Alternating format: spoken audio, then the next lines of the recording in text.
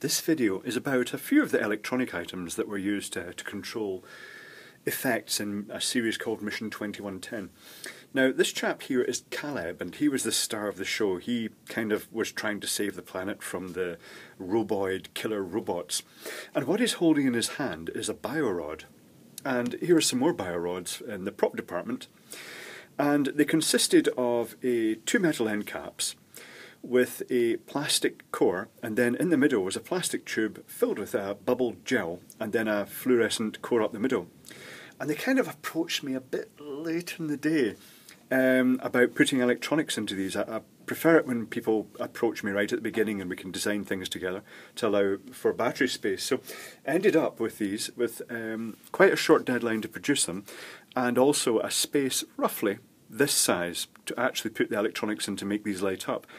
And the only thing I could really think of to do that was a little circuit board like this with a lithium battery in the back because it wasn't possible to provide an external power source to these because as part of the game they're grabbed from robots and from like parts of the set and they're used as a sort of point scoring device.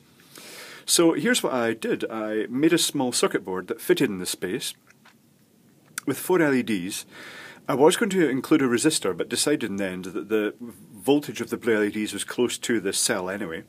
And it takes a lithium cell, a surface mount holder, and when you stick a cell into the back, a 2032, it provides a bright source of blue light for quite a modest length of time. It actually runs for um, well, it, initially it starts off very bright, but it tails away gradually over time. But you can come back to this a week later and it's still lit. But for production use, it had to be, you know, basically just before they're out to film, they'd stick the batteries in, clip the props together, and, and then they'd go.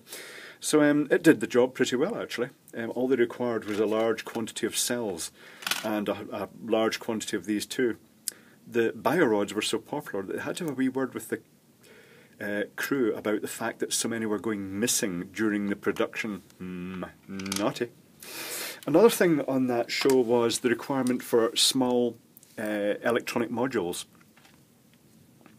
where the, the, the whole series was filmed on a ship, well, a container ship. It was actually a group of container ships that were temporarily parked during a recession when it wasn't really viable to use them, so they just parked them up in a um, loch in Scotland. And to get some illumination into various props, it wasn't very easy to run wiring to a lot of locations in the ship. Uh, so, and we certainly couldn't make holes in the walls because they were, well, made of steel and we weren't allowed to make holes in them. So I designed some panels that stuck to the wall magnetically, and in the back of these panels was a battery pack and one of these modules.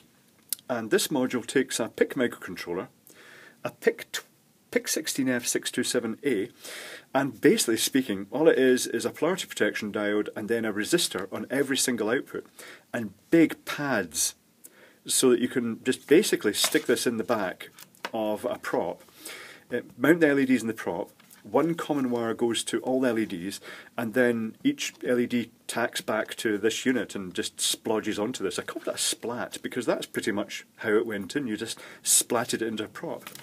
And it was very good. It, it did various effects, um, Knight Rider effects, it did the sort of random sort of control panel effects, and it just it could be programmed whatever was required. And I have to say, these were so useful. I ended up getting a batch properly manufactured because um, they just they came in. They were just a very useful device, very compact and very simple and rugged. The other thing I made for that series was um, the game controllers. Now there were a few games in the show that um, involved challenges that you had to hit targets or buttons and things like that. So this was uh, another self-controlled game module that had uh, eight outputs. It's got a microcontroller, a ULN 2803 Darlington driver, and then eight outputs with a common, and then four inputs with a common. Um, I've got a wire attached to this because this was used for testing the games before they went into the final units. And uh, the inputs are all uh, filtered with the little capacitor and resistor networks, and uh, they had uh, the pull-up resistor and array. There was also an audio output via a MOSFET, and it was very simple. It just basically drove a square wave output, and that was only to provide low level game interaction to the players because. Uh, you don't really want to have too much volume uh, when you're filming, because latterly in production they'll dub on sound effects over that in the end. But it gave the option that if they required, they could have some feedback for the game. It was a very useful module actually. It was very very handy. It's uh, come in useful for other props since. So um, yeah, that was a that was an interesting show. A lot of custom electronics built for that. Um, it was a, a, fantastic location they had for the show as well. But yeah, it's all very interesting. It was good, quite an enjoyable job.